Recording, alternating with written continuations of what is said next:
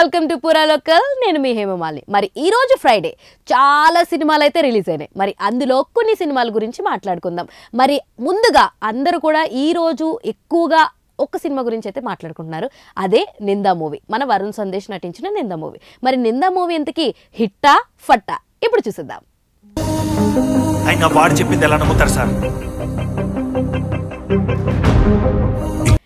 Happy days కొత్త బంగారు లోకం కుర్రాడు లాంటి సినిమాలతో వరుస హిట్స్ అందుకున్న వరుణ్ సందేశ్ తర్వాత దారుణమైన డిజాస్టర్లు అందుకున్నాడు. ఇక ప్రస్తుతానికి సినిమాలకు దూరమైన ఆయన ఈ మధ్యనే ఇందువదన అనే సినిమాతో ప్రేక్షకుల ముందుకొచ్చిన ఆ సినిమా పెద్దగా ఆకట్టుకోలేదు.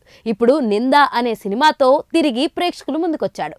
ట్రైలర్ టీజర్తో ప్రేక్షకుల్లో ఆసక్తి రేకించిన ఈ సినిమా ఎట్టకేలకు ఈ రోజైతే రిలీజ్ అయిపోయింది మరి ఈ సినిమా ఎలా ఉంది అనేది ఇప్పుడు మనం పూర్తిగా తెలుసుకుందాం. ఇక కథ విషయానికి వస్తే పెద్దాపురం తాలూకా కాండ్రకోట గ్రామంలో మంజును రేప్ చేసి మర్డర్ చేసి కేసులో బాలరాజును జైలుకు పంపిస్తారు.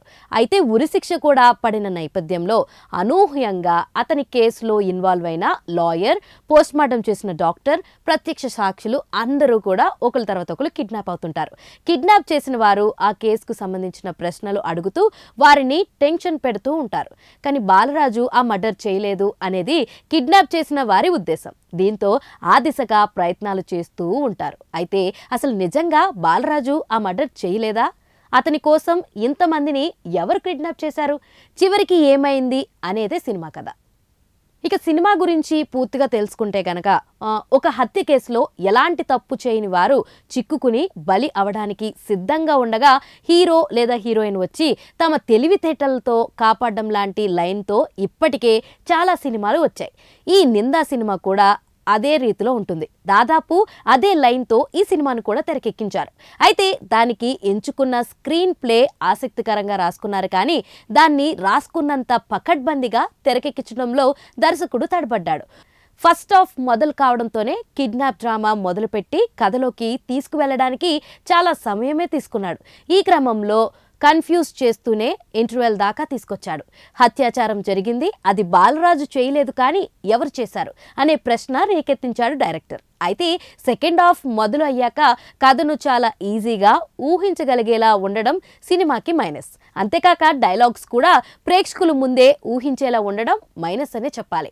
అయితే క్లైమాక్స్ ముందు వచ్చే ట్విస్ట్ ఊహించే విధంగానే ఉన్నా అది వచ్చినప్పుడు మాత్రం ప్రేక్షకులు ఎంజాయ్ చేస్తారు. అయితే క్లైమాక్స్ మాత్రం తెలుగు సినిమా ఎండింగ్ అనిపించలేదు. సో దానికి మనోళ్ళు కాస్త కనెక్ట్ అయ్యే అవకాశాలు చాలా తక్కువ. ఈ సినిమాలో కాస్టింగ్ విషయానికి వస్తే గనక వరుణ్ సందేశ్ తనకు అలవాటైన లవర్ బాయ్ పాత్రను దాటి ఒక హ్యూమన్ రైట్స్ కమిషన్ అధికారిగా ఆకట్టుకున్నాడు. సెటిల్ పర్ఫార్మెన్స్తో ఇలాంటి పాత్రలు కూడా చేయగలను అని నిరూపించాడు. ఇక హీరోయిన్ శ్రేయారాణి పాత్ర పరిమితమే. మధు పర్వాలేదు అనిపించినా యాని మాత్రం అదరగొట్టేసింది. ఇక ఛత్రపతి శేఖర్ మైమ్ మధు తనికల భరణి సహా ఇతరు నటీనటులు తమ తమ పాత్రల పరిధి మేరకు నటించారు. టెక్నికల్ టీం విషయానికి వచ్చేసరికి సినిమాటోగ్రఫీ మీద కేర్ తీసుకుని ఉంటే బాగుండేది. ఇక రీ రికార్డింగ్ బాగానే ఉన్నా పాటలు పెద్దగా గుర్తించుకోదగినవి లేవు.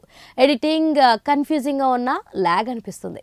ఫైనల్గా ఈ నింద ఎలాంటి అంచనాలు లేకుండా చూస్తే నచ్చొచ్చు కానీ అందరికీ కనెక్ట్ కావడం కాస్త కష్టమే. సో ఇది ఇవాళ వీడియో. మరొక ఇంట్రెస్టింగ్ వీడియోతో మళ్ళీ కలుసుకుందాం. అప్పటి వరకు చూస్తూనే ఉండండి. పూరా లోకల్. అయినా వాడు చెప్పింది ఎలా నమ్ముతారు సార్?